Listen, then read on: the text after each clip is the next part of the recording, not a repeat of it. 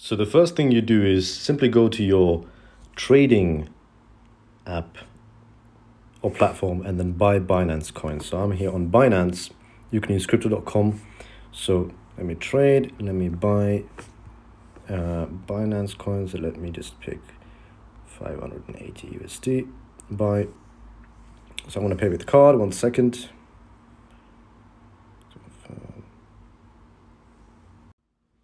So the next thing you do is set up your Trust wallet, and the Trust wallet is very simple to use. So you just create the wallet, copy your seed phrase, and save it somewhere.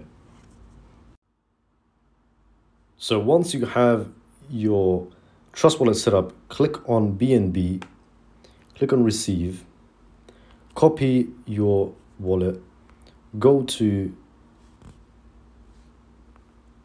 your exchange or wallet, and then you withdraw. Paste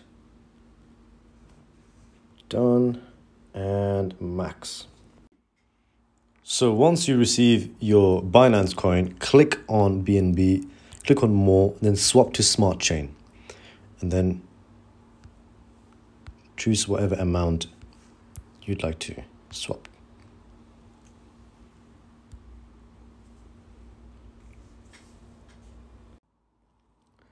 So the next thing would be to add the browser page if you haven't already. So on Android, I think should be by default, but on iOS, you need to do it through an enable link. So you click this link here, uh, the link is in the bio, and then you click on allow on the prompt, and then you have access to this. So once you're here, you look for Pancake Swap, and you click on connect, trust wallet, and you should be connected. So once you get to this page here, you can select a currency. Now SafeMoon won't be here, so you need to go to CoinMarketCap.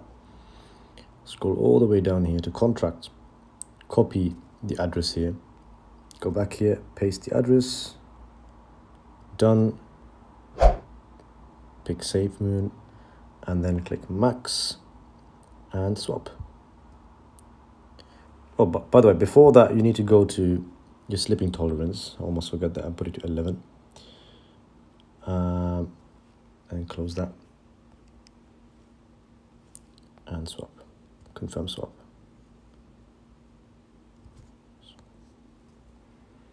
So I'm gonna have a little issue there. So let's do 0.6 swap confirm swap and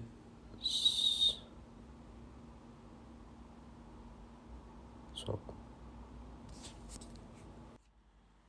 and this is how we get SafeMoon on our wallet. So I got 9.4 billion, which is a good amount. And if you have any questions, just drop them down below. I'll get back to you as soon as I can. So all the best.